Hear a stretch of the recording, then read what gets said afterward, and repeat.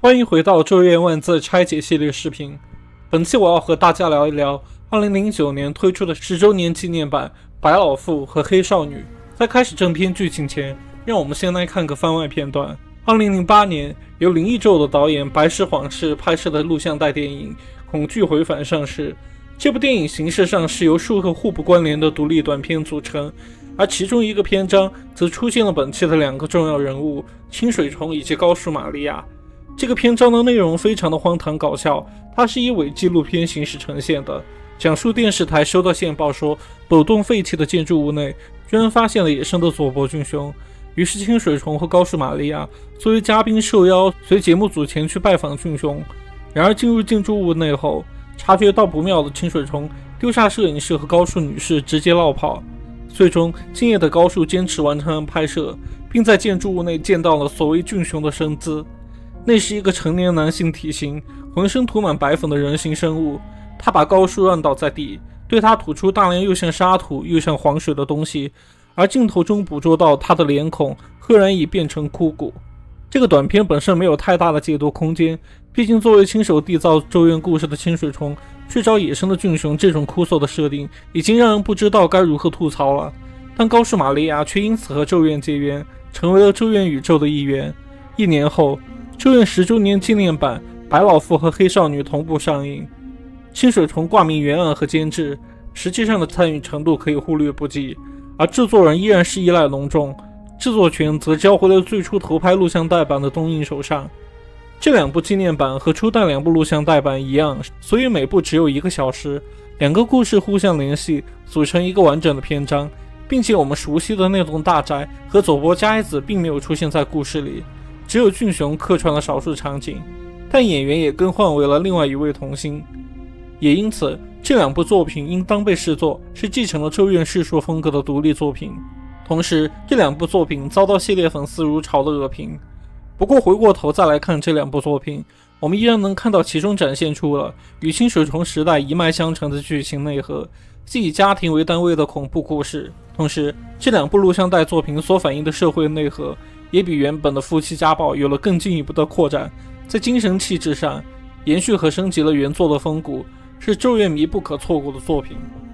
不过，由于十周年纪念版维持了录像带版语言不详的叙事风格，大部分人物的身份背景都只通过只言片语和细节表演来呈现。同时，两部电影的常见中文字幕翻译都存在不少的问题，包括时态错误以及一些日语梗无法透过中文传递。导致大部分的观众都看得一头雾水。这里我将为大家按照时间顺序，完全梳理清楚整个十周年纪念版的故事，让大家彻底看懂这两部作品。十周年纪念版的故事开始于黑少女的篇章。某个雨天，放学后，一位男孩发现同校的横田福纪惠呆立在教室里。也许是想着他可能没带伞，所以在避雨。男孩好奇地上前查看，但福纪惠的眼睛死死盯着前方的空气。身体像是凝固了一般。突然，福气会露出惊恐的表情，拍打着窗户，然后倒了下去。男孩冲到床前，只看到福气会正处于惊厥的状态，躺在地上狂躁地挣扎着。校方随后把他送往了医院，并通知了母亲横田纪和子。这里扮演季和子的，正是此前和清水虫一起在恐惧回返中探望野生俊雄的高树玛利亚。医生告诉季和子，女儿只是有一些贫血。至于狂躁挣扎的症状，则完全没有提及。回到家后，通过玄关上的拖鞋，福气会惊喜地发现，久未归家的父亲横田宏今天竟早早回家了。于是兴奋地冲向父亲。母亲季和子购买了大量食材，打算在家里给女儿制作营养餐。父亲却认为应该让贫血的女儿出去吃牛排或者烧肉。夫妻俩意见不合，眼看着就要吵起来。福气会突然呆住，望着天花板发出尖细的叫声。那叫声随后变成可怖的喉音，然后福气会倒在地上，看着眼前的景象。横田红立刻上前查看女儿的情况，但福气会的手却以出奇的大力紧拽住父亲的手腕，并告诉他，他将会用这只手杀死一个女人。季和子将女儿带去医院进行检查。好消息是，福气会的大脑功能并无异常；而坏消息是，医生认为福气会可能是单纯的精神问题。为了查明原因。医生对福气会展开了催眠治疗，试图探寻困扰他的精神问题的根源。一开始，福气会只是回到五岁时的海边，那时的父母尚未争吵不和，还能陪着福继会享受一家三口的幸福时光。然而渐渐的，横天夫妻因为生活和工作的种种原因不和，开始愈发频繁的争吵，父亲也变得渐渐不爱回家了。福气会多么的怀念父母还恩爱如初的时光，然而这一切都是突然的妄想。感情破裂的夫妻，即便用女儿这块胶带勉强粘合，也永远回不到当初的幸福时光了。紧接着，医生让福气会进入了胎儿时代，试图唤醒潜意识。然而，福气会竟然又发出尖细的叫声，伴随着骇人的喉音，在地上疯狂挣扎着。医生急忙扔开催眠道具，试图中断治疗。但睁开眼睛的福气会俨然换了个人，他眼中满是怨恨地瞪着母亲，质问他为什么不把自己生下来。随后便陷入了昏睡。季和子这辈子只生过福气会一个孩子，但女儿所说的话显然是指她还有一个未出生就夭折的小孩。医生对福气会进行了全面的检查，CT 显示福气会的腹部有一个肿瘤，这是一种医学上非常罕见的现象。季和子当初怀的是双胞胎。然而，在孕育期间，福气会的胚胎把另一个胎儿给吸收了，因此季和子和丈夫都不知道这另一个孩子的存在。这种现象融合了医学上两种罕见的疾病，一种是寄生胎，这种现象不同于连体人，通常是孪生双胞胎中较强的个体为了争夺母体的营养而将另一半吸收，而影片中提及的肿瘤则更接近于畸胎瘤。畸胎瘤指的是长有人体组织甚至毛发的奇特肿瘤。它的成因学界尚无定论，但可以确定这种疾病和双胞胎并无必然联系。不同于对另一个孩子一无所知的父母，福气会自打记事起便能听到体内另一个双胞胎少女的声音。年幼时缺乏玩伴的福气会把这个少女当做了自己最亲密的好友，常常与之对话玩耍。未出生的孩子没有名字，于是福气会便把自己的名字给了他，也将他称作福气会。福气会无需开口。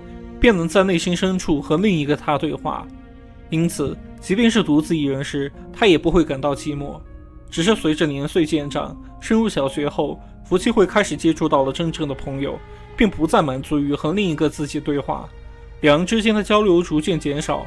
最终，福气会把他当作是自己年幼时的幻想，彻底封存在了记忆深处。独得父母的恩宠，在校园里结交了不少的玩伴，享受着生命的快乐美好。这种幸福是过于刺眼的阳光，深深刺痛了那个还未降生于世便如冬雪般化作逝水的女孩，进而滋生出无法自抑的怨毒。她好恨每一个活着的存在，恨创造了自己却不知晓自己存在的父母，恨抛弃自己的福气会，更平等的憎恨每一个拥有生存权的个体。于是，在片头那个阴雨绵绵的放学后，黑少女觉醒了过来，开始以福气会为起点，展开无理由。无差别的疯狂报复。第一个遭到不幸的是藤井玲乃。藤井是福气会父亲横天弘的公司职员，他外表端丽且一直单身。近来筹谋着离婚的横天红，还没等一切尘埃落定，就已经把他视作是猎物，想要让他成为自己的下一任女友。某天晚上，横天红叫了一辆 taxi，以送玲乃回家为由，强行与他搭上同一辆的士。眼尖而又八卦的司机全程露出吃到大瓜的表情，透过后视镜看着后座的好戏。此时，一辆消防车从对向车道驶过，横天空假意查看窗外的情况，将身体贴向林乃，受不了上司骚扰的林乃，要求提前下车。横天空睁大眼睛，一脸无辜地对林乃说：“女孩子一个人走夜路不安全，要不她也一起下车陪林乃喝一杯？”林乃极力推脱社长邀约。甚至在下车后，还把一半的车费交到了横田弘手中。横天依依不舍地握住他的手，只好作罢。看着远去的出租车，林乃狠狠地咒骂着：“他最该提防的就是社长这种油腻的男人。”走在漆黑的小巷里，林乃始终觉得有什么人尾随着他。他转过身，看着空无一人的黑暗，害怕地大叫着：“让社长不要再尾随他了！”但回敬他的只有令人不安的寂静。随着一阵风袭来。一股极其不祥的预感爬上了他的背脊。林来转身，手机跌落在地。就在弯腰捡拾手机时，他终于看清了黑暗中一直尾随着他的，不是社长，而是一个浑身漆黑的少女。那晚过后，林乃便再也没有来公司上班了。察觉到异样的横天轰，按照人事档案上显示的地址找到了林乃家，在到达林乃家门前时，一个戴着毛线帽子的疯癫男人拦住了他，问他有没有见过自家的小黑猫小马。横田感到莫名其妙，回了句没有后，男人白了他一眼，走开了。这个男人实际上是在帮佐伯俊雄寻找他的黑猫小马。不过这段剧情存在很大的 bug，我会在后面的分析中详细说明。林乃家无人应门，横田本打算把名片塞进门缝里，却发现门根本没有锁。开门的一瞬间。横田被吓得虎躯一震，裹在被单里的林奈直勾勾地盯着家门口，仿佛早已等候多时。他一言不发，将横田推倒在地上，然后骑了上去。看着眼前穿着蕾丝睡衣的女人，横田误以为林奈要和他发生些什么，但林奈的双手却以出奇的大力死死掐住了他的脖子，任凭他怎么挣扎，那凶狠又充满憎恶的表情没有一丝改变。林奈抓住他挣扎的手。说出了一句令他汗毛倒竖的话：“你这只手将会杀掉一个女人。”这正是几天前福气会对他说过的那句话。横田红从昏厥中醒来时，发现自己依然还躺在地上。奇怪的是，藤井绫来此刻正裹在被子里，无声无息地安眠着。横田心想着不要招惹这个单脚纳什的女人，蹑手蹑脚地准备离开，却发现自己的皮带不见了。他回头一看。自己的皮带正压在藤井的被子下方，来不及细想刚才到底发生了什么，他急忙伸手试图抽出皮带，随着右手用力，藤井的头被那根皮带拖拽着一起打拉了下来。此刻的他面如死灰，那根皮带不知何时死死缠住了他的脖子。难道是自己在失去记忆期间杀死了这个女人？恒天看着自己的手，想起了福聚会和林乃说过的话，莫说那是对未来的预言。而此刻，他唯一的念头便是要彻底掩盖这起意外。毕竟，眼前的状况已经很难被解释为正当防卫了。当天夜里，恒天红将林乃的尸体裹在白布里，用越野车送去了郊外。他用了一整晚时间挖了一个大坑，再用土石和落叶将林乃彻底掩埋在了里面。就在准备离开时，横天红的余光注意到，刚才被自己亲手一铲又一铲土填平的土坑，竟然又大敞开。他战战兢兢地靠近土坑，发现林乃依然安静地躺在里面，心想着林乃是不是还没死掉。横天红立刻拆开裹尸布，查看林乃的脸，然而眼前的女人就如白天刚到他家时那样，死死盯着横天，喉头发出诡异的声音。那一夜后，横天红便彻底从人间蒸发了。数日后，在医生诊断出伏击会体内的寄生瘤后。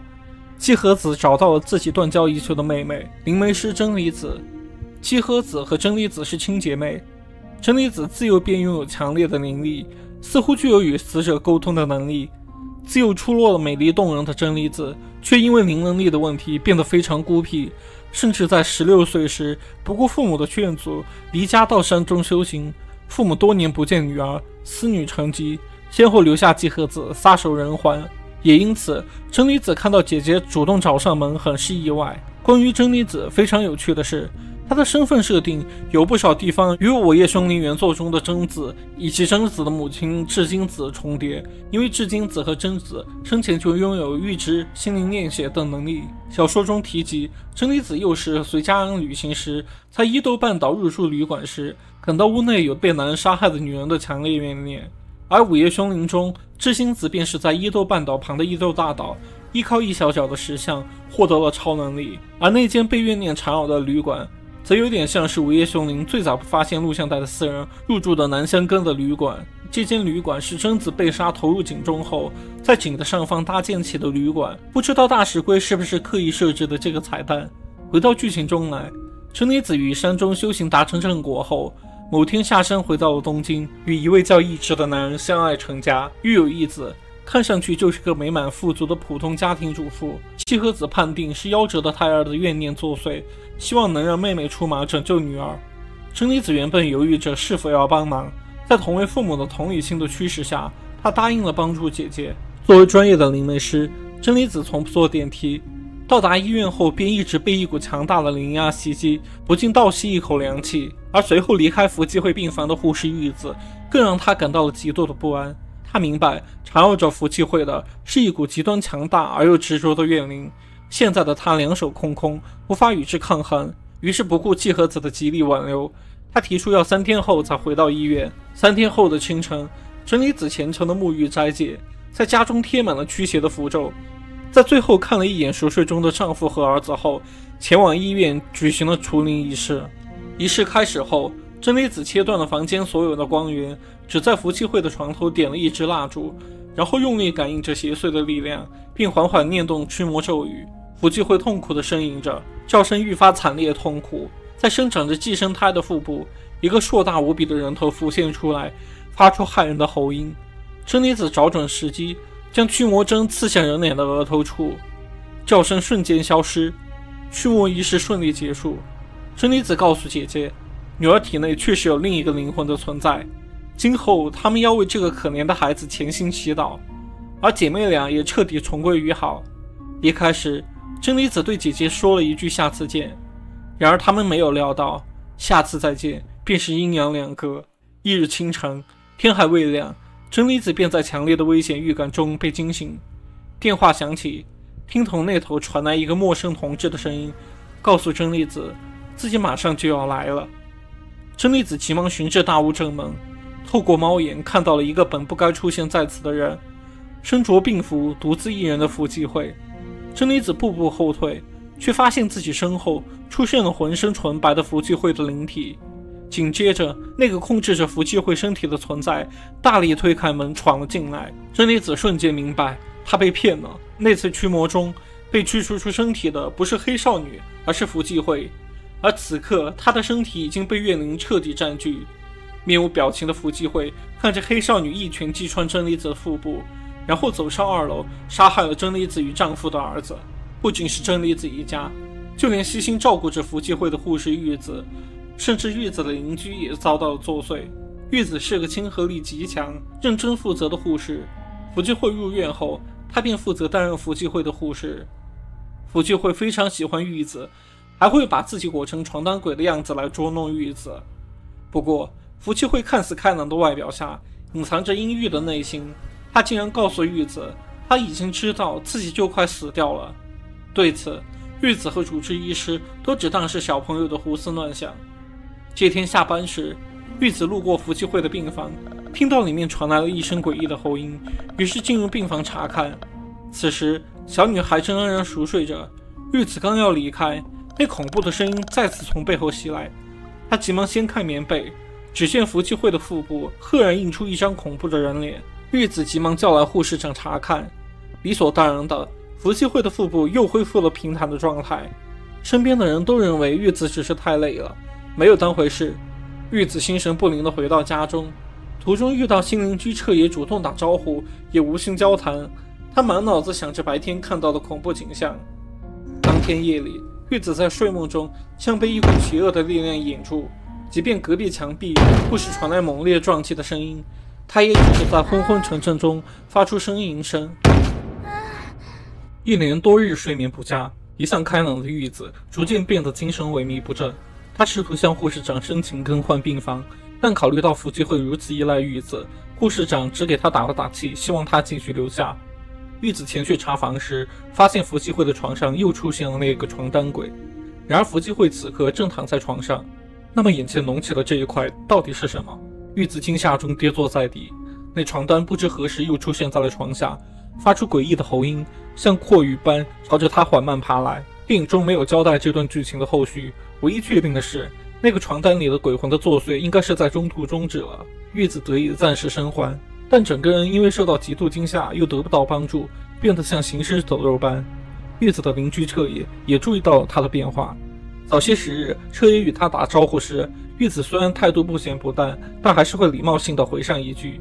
但近来，玉子却对他变成彻底置若罔闻，神情也变得疲惫呆滞。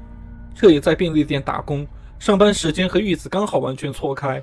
第一次见到玉子时，他就被她精致可爱的五官所吸引。幻想着这样可爱的女孩能成为自己的恋人，但玉子愈发冷淡的态度让他不禁怀疑起自己是否是被讨厌了。一月底的某天，真理子一家三口的尸体被发现后，松冈家大宅被警方彻底封锁。彻野路过这栋凶宅时，兴奋地和朋友交换着八卦信息。当天晚上，熟睡中的彻野被一阵撞击墙壁的巨响惊醒后，竟听到隔壁传来玉子的呻吟声。彻野误以为是玉子正在和男友进行爱的练习曲，却没有想到那是玉子在噩梦中发出的痛苦呻吟。不过，被撞墙的声音变得愈发响亮，甚至震得房间里的柜子和物件都开始移动。彻也被彻底吓到，难道隔壁发生了什么不好的事情？由于实在是感到害怕，第二天白天，彻也将好友叫到公寓里来。希望他们能在白天帮他看家，顺便看看隔壁是不是真的发生了什么。好友是一对情侣，和彻也一样热爱八卦。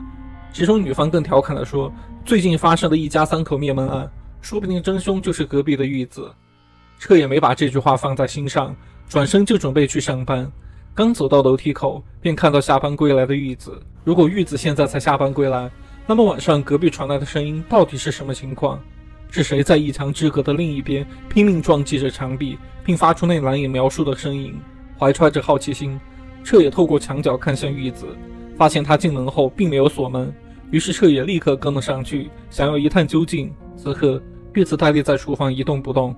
彻也关心地问玉子还好吗？玉子转身，竟看见黑少女不知何时匍匐在彻野的脚边。她抓住彻野的双腿，将他拖进了房间里。也就在同一时间。隔壁的好友二人正欲亲热，女方察觉到了隔壁的异象，于是将头贴向墙壁。只听到隔壁传来骇人的撞击声。此刻，黑少女正大力拽住彻野的头，不断撞向墙壁。她终于明白，困扰自己多日的夜间的异象，并不是梦里的幻觉，而是发生在未来的征兆。彻也渐渐停止了挣扎，随后，黑少女的手伸向了玉子，将她彻底带离了这个世界。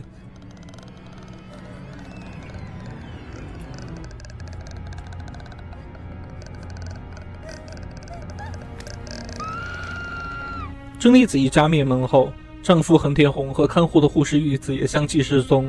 看着福气会纯白的灵魂站在床头，不舍得将手探向原本属于他的躯壳。季和子虽然明白除灵并未成功，但依然如行尸走肉般重复着照顾瘫痪在床的女儿。直到某天，季和子在阳台晾晒衣物时，真理子的身影突然浮现在了被单后，对他轻轻地道了一声对不起。季和子明白自己不能再这么浑浑噩噩下去。他必须彻底终结黑少女的复仇，于是他抱着福气会的身体从天台一跃而下，在生命最后的瞬间，季和子竭尽全力睁开双眼，看到了黑少女的灵体站在一旁，面无表情地注视着他。他明白自己是彻底失败了，那份怨念是不会随着肉体凡胎的死亡而轻易消逝的。东京的街头，戴着毛线帽的疯男人依然执着地为俊雄寻找着黑猫小马的踪迹。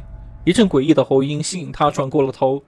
黑少女的怨念至今依然游走在东京的街头。她路过的一处路灯上留有一些诡异的血迹，在那以后，她仍将把复仇持续进行下去，永无绝期。